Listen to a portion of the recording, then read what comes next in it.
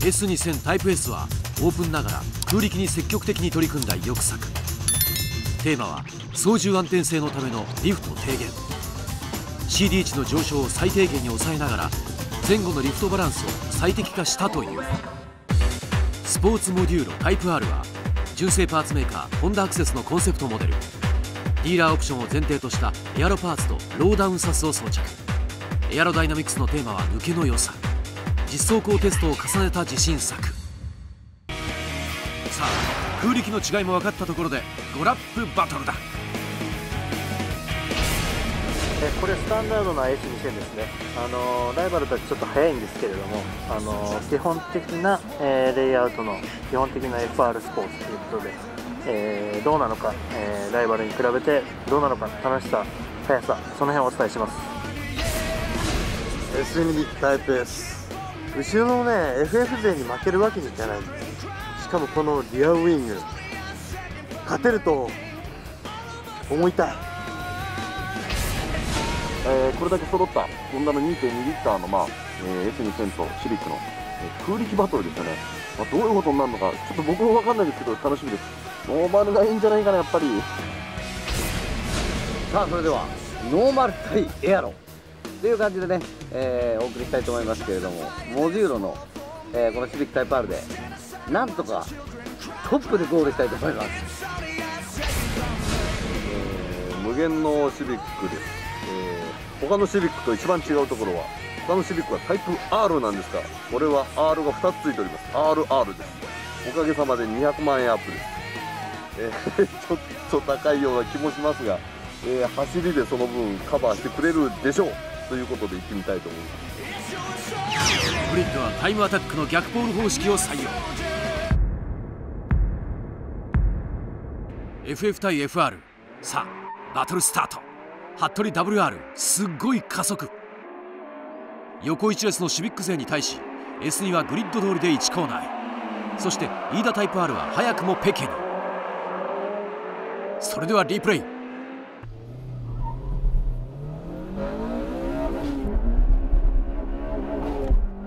失敗した。よしよしよしよし。早い15馬力半蔵それもしかして反則スタートじゃないのちょっと。いいえほとんど新車同然の無限 WR を気遣った優しいスタートです。ねはっちゃん。15馬力のご利益がちょっとあったかな。3台が絡んだシビック勢に対し S2 の2台はその差を広げる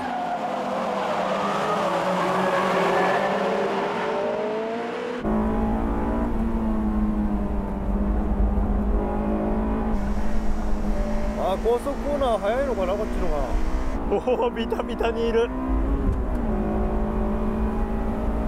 木下タイプ S あら S2000 をプッシュプッシュ。するとやっちまった。うお岡間掘るぞ。シルトミスしちゃったよ。さあ15馬力頑張って。タイプ S 食えるぞ行くぞ。元気もりもりをドリドリ。早くも行った。なんとチョンブレで最終に侵入。危ないよ金ちゃん。大口さんの。はい後ろはシビックオールスターズです。金ちゃん危ない。ちょっと。最終頃でやられるの？飯田タイプ R もブレーキングで一気に詰める。みんな危ないよちょっと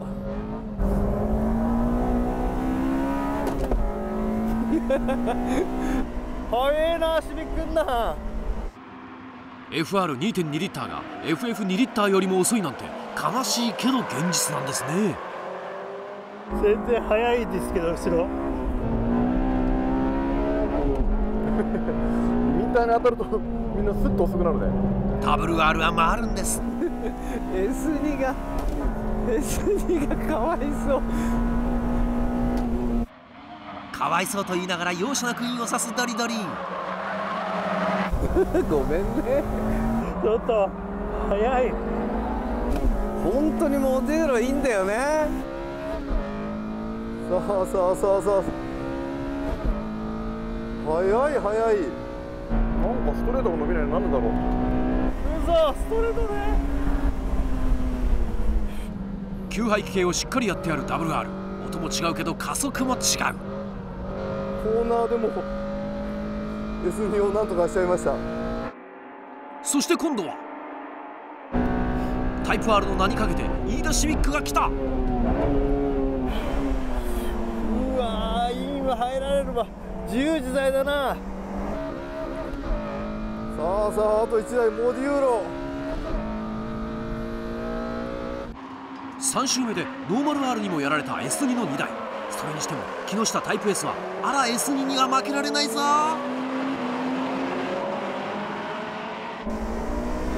し。いやーいいとったダンロップはタイプ S の勝ちでしょ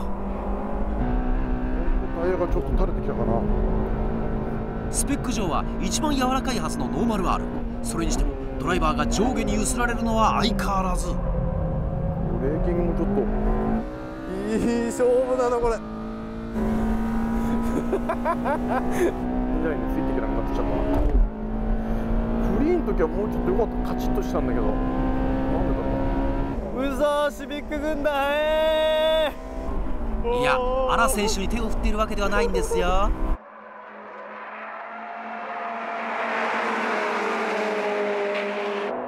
服部 WR が土屋モデューロロックオン。さあどこで仕掛ける？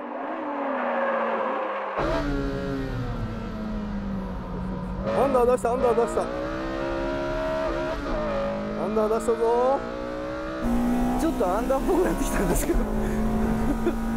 服部さん。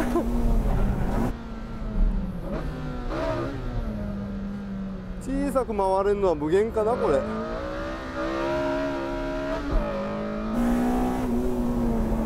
こで話せるだろ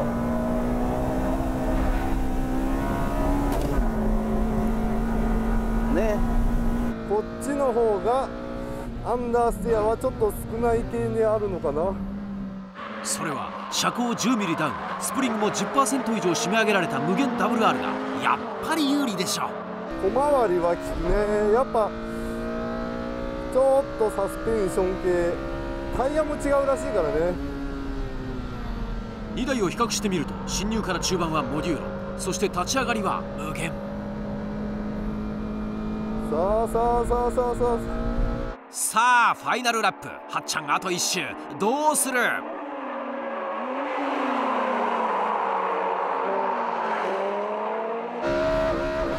あーけど抜くとこまでいかないね。服部しつこい。逆切れのドリドリ。でもそれだけこの2台の実力が白昼しているってことですよね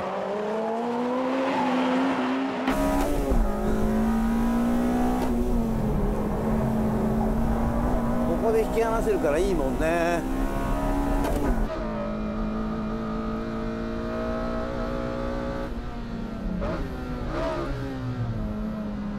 マジバトルですよ結構。ダンロップ80あるの。安定感が本当いいんだよねこれね。あーストレートがねダメだね思ったより。なんとコンセプトモデルが無限を振り切った。ガッちゃったもんね240馬力480万円の無限 WR はなんと6秒台という驚異的なベストラップを叩き出し面目躍如またタイプ S のエアロはフィーリング向上には効果絶大だがベストタイムでは差が少ないことも判明した。ちょっと15馬力の森脇がいまいち感じなかったんだけどなダンパーをねフロント4リア5でいったんですけど後半垂れてきたからねフロント5にすりゃよかったな。タイトコーナーで少しアンダー強いよね。これうまく消してないとタイムは出せないと思う。さあライトウェイトスポーツ祭り。祭りですか今日は。祭りですよ。あはいはいはい。ということで、はい。あのー S2000 の方が早いと思ったんですけどね2.2リッターだしいっすスポーツカーだしはっきり言って。いやーはっきり言って悔しいしね。やっぱりねこういうね、えーバランスのいい FR でしょ。えー筑波なんかシャッシャッシャッってね。やっぱり FF ダメよっていうのを期待したんですが。いや俺もね実はそう思ったんだけど走ってみたらあれ？どこでも S2 より速いじゃない？本当に全域で全域で負けちゃってる感じあのシーン乗りやすいじゃやっぱりダメなんですよ。悔しいな本当悔しい。決してそれはダメじゃないけどこうバトルになったら順位がついちゃったねって感じだよね。ノーマルはノーマルで乗ったら楽しいですしあの きっちりねあの動いてくれる感じあるんですよ。ただあの木下さんに前に行かれてからあの比較するとやっぱりダンロップ先とか最終コーナーその辺でやっぱ高速はね離される感じがあったんで。やっぱ空力は効いてんだね。聞いてると思いますね。空力今回みんな違うじゃないですうん。か綺麗に並びましたよね。そうだよね。はい。だからじゃあこれが一番空力出てるってこと？バランスがいいってことですね。いい。あのねダンロップとかねダンロップコーナーとか最終コーナー、これね服部さんあの後ろから見てたと思うんですけどもねかなりバランスいいですよ。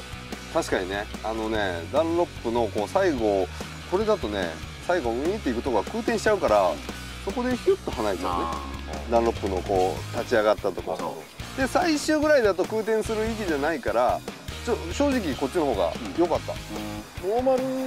でも多分いい勝負できるんじゃないかなと思ったんですけど、思ったよりやっぱりそのコーナーの中がやっぱり微妙微妙にに本当ねね、見た目ねどこがどうっていうのは分かんないけど本当じりじりって感じで、うん、なんか大きいウィングついてるしね、ノーマルでも十分いけんじゃないかなと思ったんですけど。こなんだかんだ言ってもね離されてストレートやっぱりまた離されちゃお金かかってるっていうのはそう。そのうそのタイムにつながってですね。その辺のショップが作ってるね足とかはエアロと違うからやっぱ迫力あります。そうメーカーが作ってやっぱりそれよりもお金を出すっていうのはねそれだけの効果があるということですね。ね。